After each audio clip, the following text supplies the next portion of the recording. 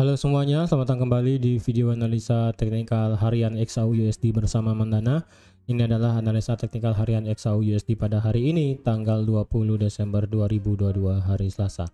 Seperti biasa, jika teman-teman suka dengan videonya, teman-teman jangan lupa like dulu videonya, subscribe bagi yang belum subscribe, hidupkan lonceng dan di-share ke teman-teman yang lain yang sekiranya memerlukan analisa teknikal harian di XAU USD pada hari ini, tanggal 20 Desember 2022. Oke langsung aja kita lihat analisa kita kemarin. Seperti yang sudah saya katakan juga di analisa kemarin bagi yang sedang open posisi sell di area ini bisa out atau enggak bisa mungkin saya bilang kemarin uh, bisa out ya bisa out karena kebiasaannya market ketika dia sudah ngebreak area ini area 1796 kebiasaannya dia akan langsung mengejar area selanjutnya yang ada di 1800 dan ternyata harga itu sempat ngebreak 1796 sebanyak dua kali. Ya ini di break pertama di jam 11 kemudian di break lagi di jam 4 sore.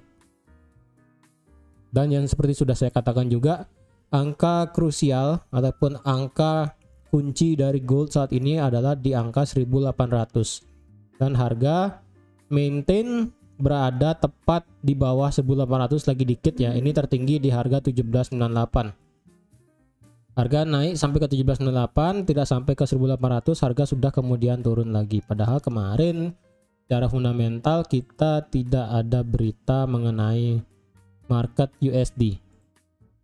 Kalau di hari ini untuk market USD kita cuma ada di berita mengenai rumah ya, tentang uh, penginapan ataupun ya penginapan housing start dan juga building permits ataupun perizinan. Lalu di hari ini juga kita nggak ada berita yang sangat signifikan tentang USD dan juga yang lainnya.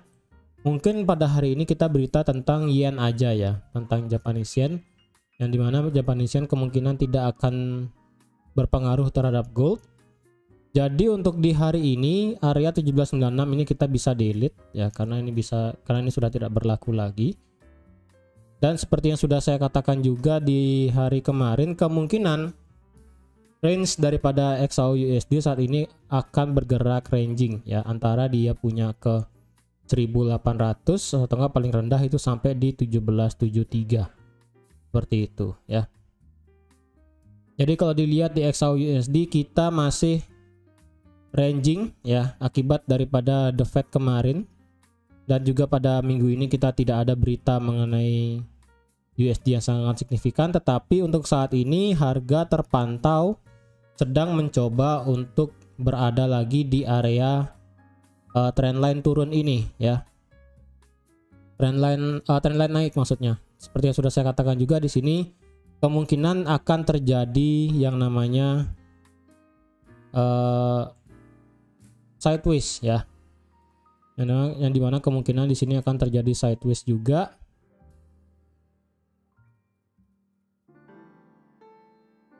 Jadi saya rasa untuk di gold pada hari ini jika dia bisa break di bawah 1766 ya.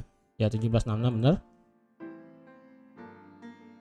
Jika dia bisa break di bawah 1766 atau enggak paling setidaknya itu karena kemarin kan harga maintain di bawah uh, tepat di 1773 ya. Karena mengapa? Karena kita ada satu area demand di sini yang cukup besar kalau kita taruh area demandnya itu kita ada area demand di sini ya. Ini demand H1 yang di mana demand H1 ini sudah disentuh berkali-kali ya.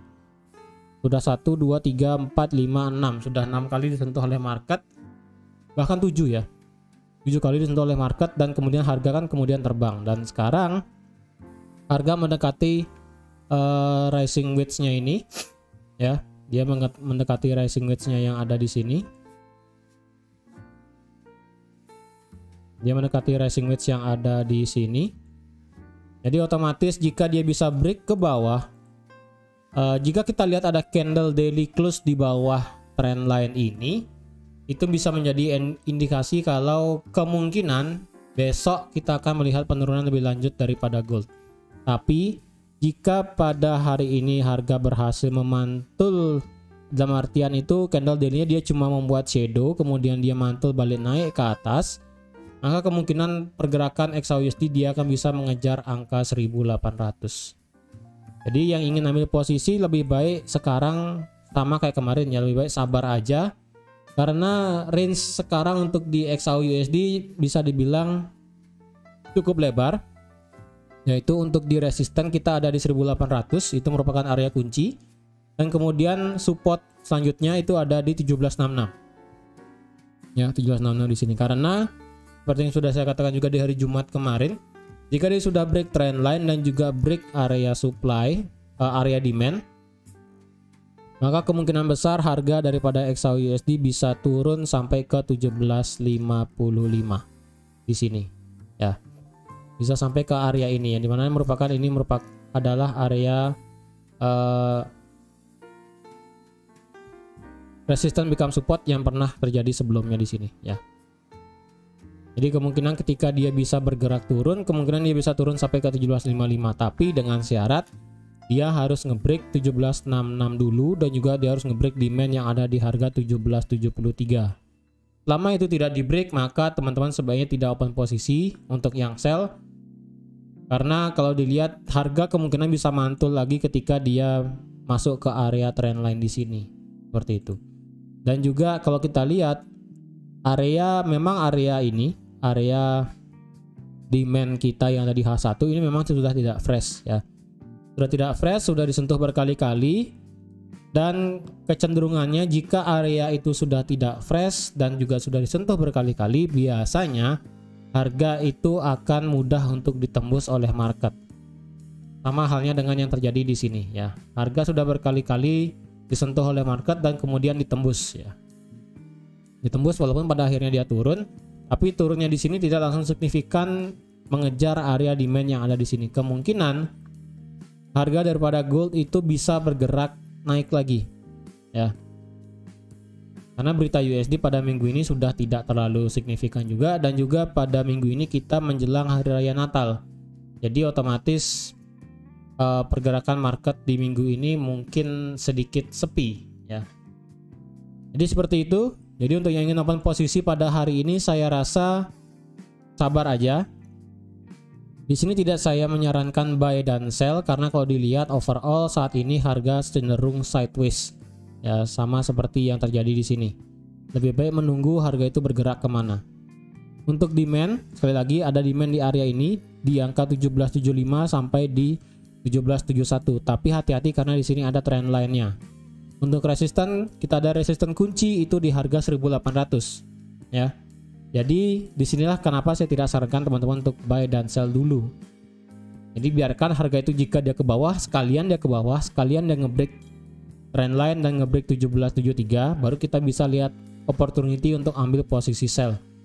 Jika dia bisa ngebreak 1800, kita nanti kita lihat bagaimana candlenya. Apakah dengan dia ngebreak 1800 dia bisa menciptakan base ataupun dia bisa menciptakan koreksi sedikit di situ kita bisa ambil peluang untuk ambil posisi buy untuk bisa target tertinggi sampai di 18.15 bahkan tertinggi bisa sampai di 18.25 seperti itu ya.